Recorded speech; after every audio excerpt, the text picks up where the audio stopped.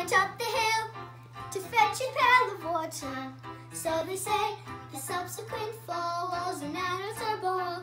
They never stood a chance, they were written that way. Innocent victims of that story. If Romeo and Juliet was written in the scrolls before they even met.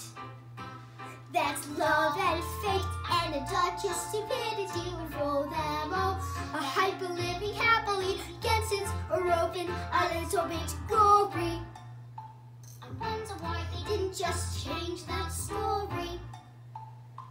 We're told we have to do what we are told, but surely.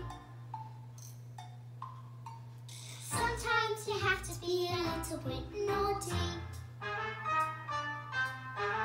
Just because you find that life's not fair doesn't mean that you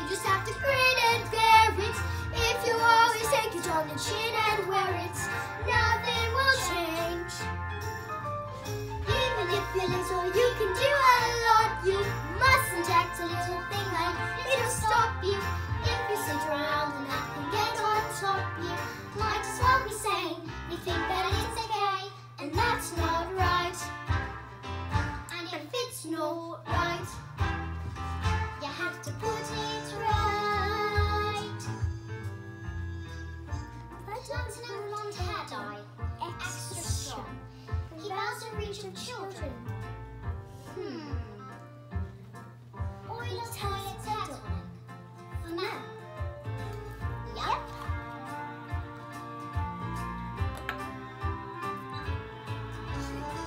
In the slick of a bolt, there's a tiny red pulse. A seed of a war in a creak of a floorboard. A storm can begin with the flap of a wing. The tiniest might plus the mightiest wing. Every day starts with that click of a note. What escapes starts with that click of a note. If you're stuck in your story and want to get out, you don't have to cry. You don't have to shout, cause if you're